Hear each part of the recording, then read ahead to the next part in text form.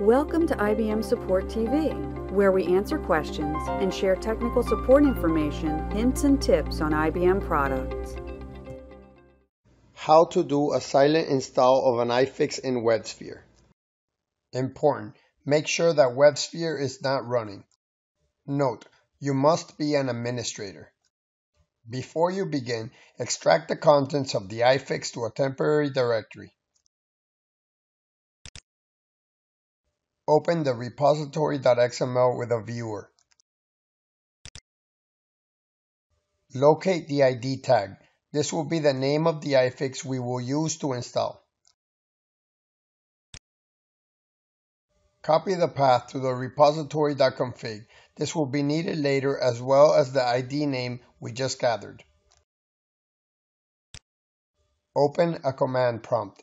Important, make sure you're running as administrator. This will be the command needed all in one line. The fixed name is the ID value collected earlier from repository.xml. The installation directory is your WebSphere home. The repository's value will be the path to the repository.config. Type the following all in one line. You can pause the video if needed. The command needs to be ran from the Installation Manager Tools directory. The ID value we gathered from the repository.xml before will be used as the iFix name. Installation directory is the path to your WebSphere home. The repositories will be the path to the repository.config we gathered earlier. You will see the following message. Type the following command to verify the iFix was installed.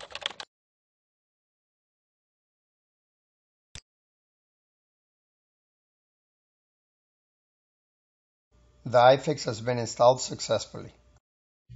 You can also go to the WebSphere root bin directory and run the following command versioninfo.bat ifixes to verify the iFix is installed from WebSphere side. For example, Thanks for watching this episode of IBM Support TV. Please leave a comment with topics you would like to see in future episodes. Until then, stay tuned.